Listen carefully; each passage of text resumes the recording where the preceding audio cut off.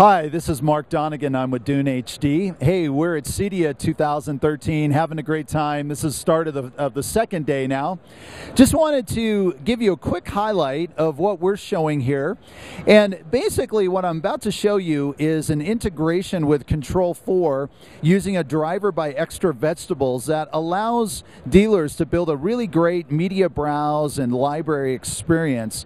And so, what we've done here is we're looking obviously at Control 4 touch panel. And partnering with the company VidaBox, we have a server product. It's actually called the Live NAS Dune Edition, and it ships with a driver that will import all of the movie content metadata into Composer. It then populates the touch panels, you can see here, allowing the customer to browse in a graphical manner and they can look at the movie title they might be interested in. In this case, I selected Transporter 3.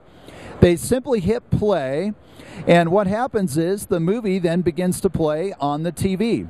And that's all enabled through the Dune Media Player. In this case, we're showing the Dune HD Max.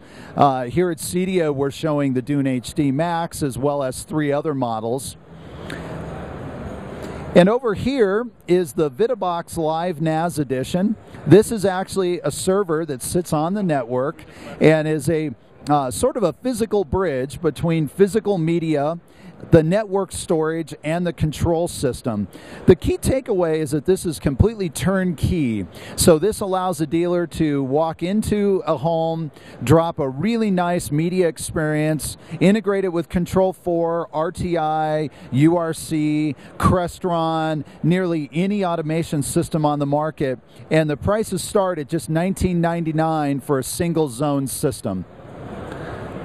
So if you'd like more information, you can go to duneplayer.com. That's D U N E P L A Y E R.com. Or you can go to our corporate site, which is dune-hd.com.